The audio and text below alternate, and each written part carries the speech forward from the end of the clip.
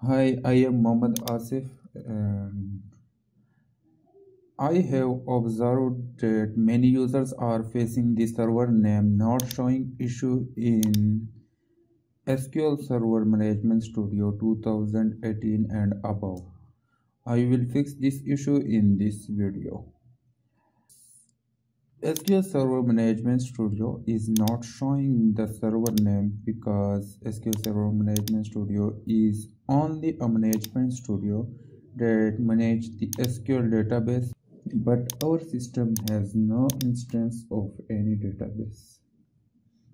To fix the issue, we would need to install the SQL Server after installing the SQL Server Management Studio. Let's open Google Chrome and search download SQL Server, not SQL Server Management Studio. Open the first link to Microsoft website. Scroll down, we need the Express edition of SQL Server to run all the services. Click on the Download Now button aligned below the Express description. It will download a 6.2 MB file. Open the downloaded file.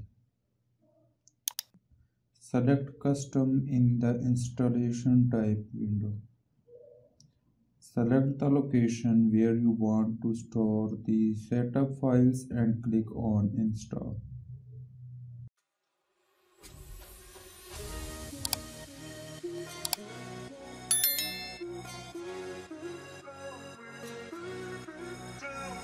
It will download around 800 MB files from the internet. It will take some time depending on the internet speed.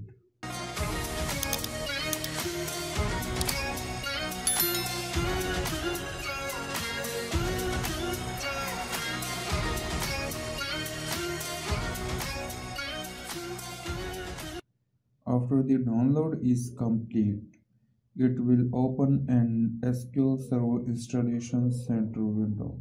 Select the first option on the window that is New SQL Server Standalone Installation. It will open SQL Server Setup window. Check I accept the license and click on the next button.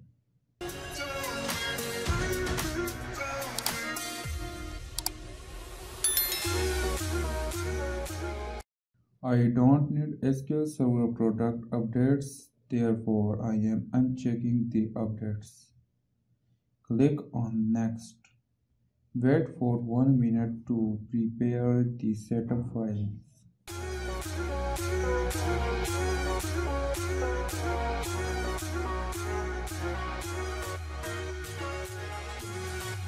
Click the Next button. Here you can select the features that you want to use. I am leaving them as default because I will need all these services for my projects. You can change the installation root directory. Click on the next button. Leave the name instances as default. Click on next.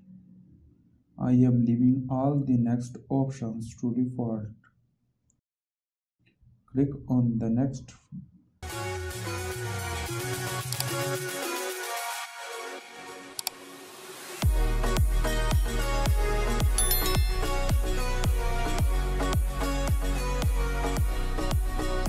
Click on the next button and the final installation will start.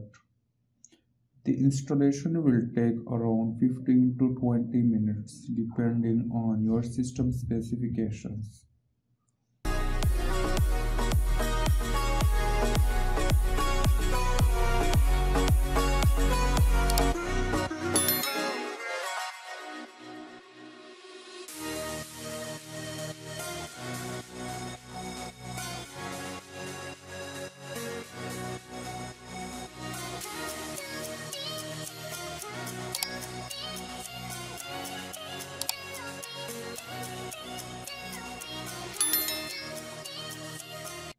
After completing the installation, you can close this window. That's all. The issue should be fixed now as we have installed the SQL Server which is required for SQL Server Management Studio to run the instance. Let's test the SQL Server Management Studio now. Click on the drop-down icon against the server name and select the Browse options. In the servers window, double-click on the database engine and then select your system name in the drop-down. We have successfully connected SQL Server Management Studio to the SQL Server instance.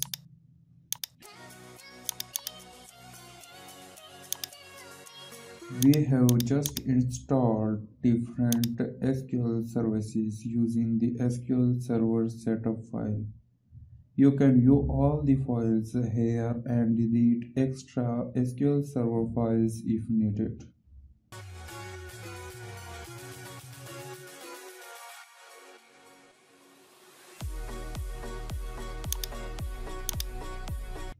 You are watching this video till now means you have liked the video.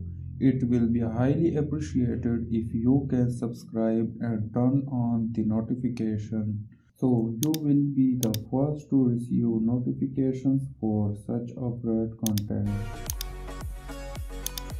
If you have already subscribed, you can ask questions and share your suggestions in the comment section below the video. Thank you for watching this and I hope that this video will have helped you in fixing the SQL Server Management Studio issue.